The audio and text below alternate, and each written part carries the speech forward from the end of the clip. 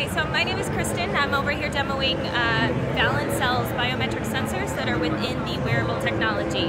Um, as you can see on the screen, the heart rate is measured. Faster I go, heart rate picks up. As I come down and slow down, it will come down to cool down mode and your heart rate will low or get lower as well. Um, if you can see within here, Valencell has partnered with a lot of companies. This right here is the Rhythm by Scosche. This right here the sensor that Valencell provided for them. They also have it here in the Suunto watch. Again, same idea.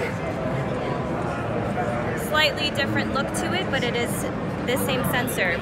Also within here, the statistics you saw on that screen are actually coming from my earbud. These are the Jabra Elite. Same thing as like your normal wireless uh, headset, but it's got the heart rate right on in there.